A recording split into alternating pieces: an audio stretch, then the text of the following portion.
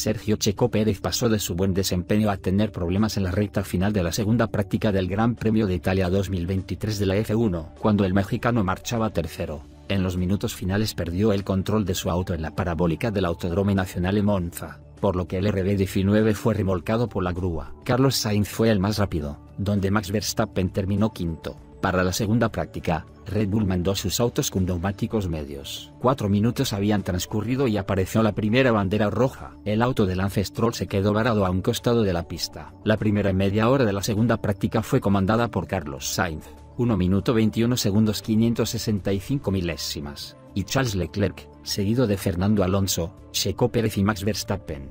Ya con neumático suave, el mexicano doblegaría el dominio de Ferrari al marcar el mejor crono con 1 minuto 21 segundos 540 milésimas.